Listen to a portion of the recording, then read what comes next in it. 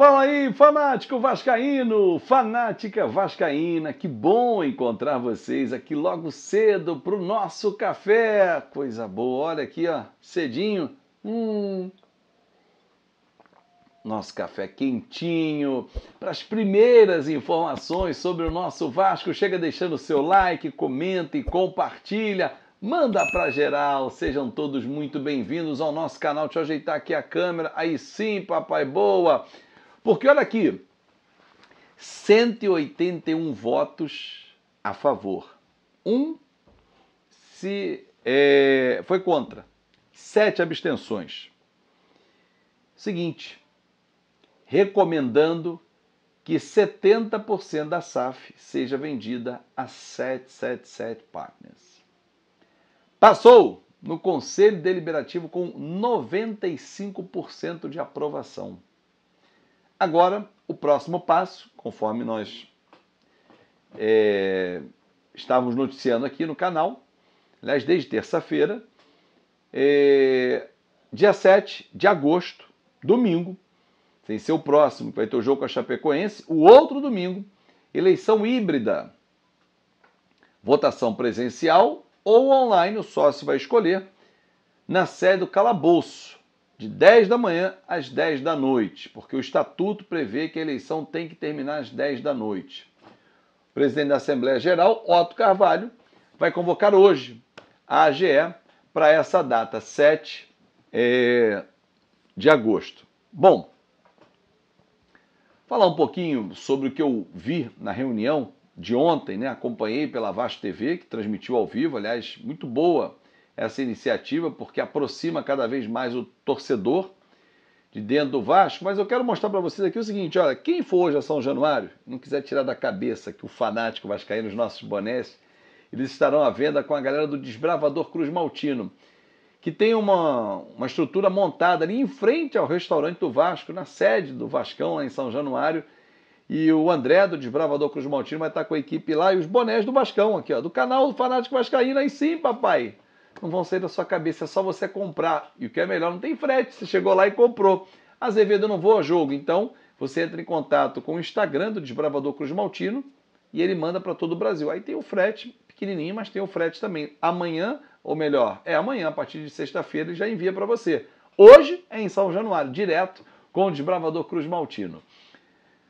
Antes da reunião do Conselho Deliberativo, cinco beneméritos conseguiram uma liminar na Justiça, mais uma vez o Judiciário sendo ocupado, para que o Vasco seja obrigado a apresentar os contratos né, da SAF, tá, aquela ladainha de sempre.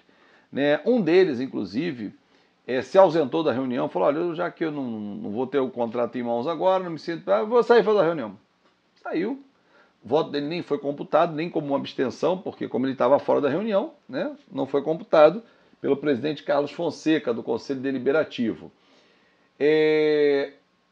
Dentre as cinco figuras, né, uma delas é muito conhecida, inclusive, uma figura que durante toda a campanha eleitoral do Luiz Roberto Levenciano participou de várias lives também, opinativo, forte. Tá bom, só acho que esse grupo e outros que já procuraram a justiça com o mesmo intuito, eles querem apenas empurrar um pouco mais com a barriga para impedir que o Vasco consiga, dentro da janela de transferências, constituir sua SAF, é, fazer dinheiro, reforçar o time, subir para a Série A. Eles não querem isso. Eles querem que o Vasco viva como eles vivem, num pântano, né? Naquela coisa que, ah, na sombria. Eu sou a solução, eu tenho, mas não tem nada tem nada, tem nada, nada. Muitos deles nem eram conhecidos dentro do Vasco e apareceram nesse processo eleitoral, mas muitos estão no Vasco há muitos anos e não tem nenhuma solução. Mas eles bradam, dizem que tem a solução, que eles vão fazer, vão acontecer, não tem nada. Tem risco da AGE não sair dia 7? Sempre tem. O judiciário está aí. Que, aliás, o judiciário é muito ágil né, nas questões envolvendo o Vasco. Eu eu gostaria que fosse em outras questões também. Eu tenho um processo que está há quatro anos no judiciário. Mas quando envolve Vasco, rapidamente resolve eliminar um recurso e tal. Enfim, tem, tem isso também. Bom, em relação à SAF, torcedor, o que, que eu quero passar para vocês? Dia 7 vai acontecer a votação e vai passar de 80%, que eu sempre falei Né? Tem, tem uma galera que diz, ah, tá chutando. Não. Ontem foi 95%. Chora não, e se quiser vai torcer pro Figueirense, torcer pro outro time, né? Mas o que eu quero dizer para você é o seguinte: dia 8, que é o primeiro dia útil após a constituição da SAF, a aprovação, vai se constituir empresa. Abrir CNPJ, procurar junta comercial, abrir conta em banco, isso leva em torno de 10 dias. Azevedo, e aí, como é que vai ser o esquema? O Vasco vai perder a, a, a janela? Não vai perder a janela, porque já há coisas engatilhadas e com a certeza de que o sócio também, que é a 777, sendo detentora de 70% da SAF, ela vai fazer um aporte, ponte, para quando constituir toda a operação, o Vasco vai constituir primeiro 100% SAF Vasco, e aí o Vasco vende 70% dessas ações para 777 Partners, tendo em vista que o sócio vai aprovar essa mudança. E aí o Vasco vai utilizar o recurso.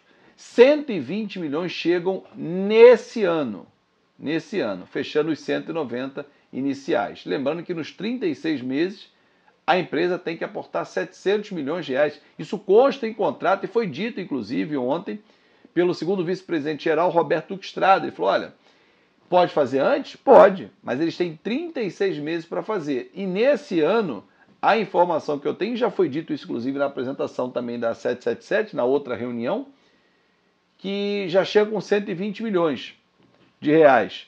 Então o Vasco vai conseguir montar um time forte né, para subir na Série B, não vai trazer grandes jogadores, não vai. Torcedor, não há negociação em andamento para trazer o Paulinho. Nesse momento, o Leverkusen recebeu três propostas de um clube inglês, de um francês e de um espanhol, não fechou venda. É, as negociações para o Paulinho é, é, sair do Leverkusen seguem. É, dentre as propostas, uma delas foi de 8 milhões de euros e ficando com um percentual de uma futura venda, e não aconteceu o acordo, mas deve acontecer. Lembrando que o Leverkusen pagou 18 milhões ao Vasco quando levou o Paulinho para lá. Não está descartada uma volta ao Brasil? Claro que não. O Paulinho pode voltar, se dá bem, voltar para a Europa. Legal. Mas nesse momento não tem negociação. Johannes, que é um dos diretores da 777 Partners, gosta muito do Paulinho, que mostra que tem bom gosto. Né? Nós também gostamos, mas nesse momento não tem negociação. Então não vou enganar você, torcedor. Ah, tá chegando, vai assinar a conta. Não, não tem. Assim como treinador também. Hoje, Emílio Faro dirige o time do Vasco. Nem falei do jogo de hoje, né? O cafezinho hoje está repleto. Vou deixar para falar sobre time, Maracanã no vídeo de meio-dia, que eu encontro você também aqui na nossa segunda edição. Combinado? Deixou o seu like? Chegou aqui até o final? Coisa linda, hein? Nosso boné? Hoje lá em São Janu, hein? Com a tropa do desbravador Cruz Maltino. Leva o fanático para sua casa, que vem mais novidade aí. Tamo junto! Aqui é tudo nosso e nada deles. E seis e meia da noite começa a nossa transmissão. Mas meio-dia tem outro vídeo. Até lá!